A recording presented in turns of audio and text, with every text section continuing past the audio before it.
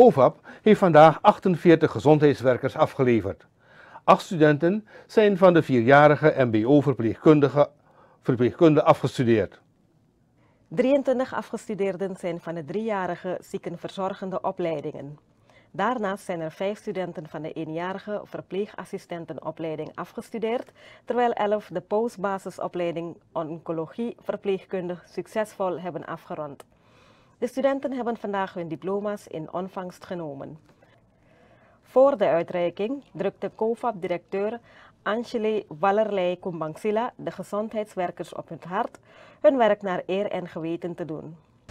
Helaas merk ik nog steeds dat wanneer goed opgeleide beroepsbeoefenaren terechtkomen in het werkveld, zij daarmee ook terechtkomen in een systeem waarbij ze met gemak naast zich leggen hetgeen ze geleerd hebben. Dus het schijnt alsof er iets gebeurt. Hè? Uh, het moment dat we klaar zijn met studeren, we hebben onze diploma en we gaan praktiseren, schijnt er iets te gebeuren. U komt in een systeem terecht waarbij wij ons vaak afvragen, maar hoe kan dit? Heel vaak resulteert dit zich in schade naar de patiënt, maar ook schade naar u zelf als beroepsbeoefenaar, schade voor de werkgever, maar ook een heleboel imago schade voor ons beroep, het mooie beroep van verpleging. Wallerlei Bangsila wees de pasgeslaagden ook erop dat indien zij falen hun werk op een integere en deskundige manier te doen, de hedendaagse patiënt zijn stem zeker zal laten horen.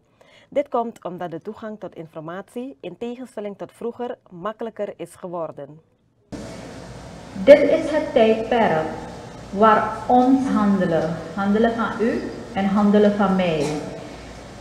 Uw houding, uw kennis door de individuele patiënt getoetst worden. En ik maan u aan tot alertheid. Waar u tien jaar geleden iets aan een patiënt kon zeggen en die kon niet toetsen of u werkelijk gelijk had, of u de juiste informatie gaf, kan de patiënt het nu binnen een minuut op zijn smartphone. Die patiënt heeft alles al gelezen voor ze in het ziekenhuis komen, maar ook de familie eromheen. U wordt met gemak besproken op Facebook, Twitter, WhatsApp, de dagbladen en andere radio- en tv-programma's.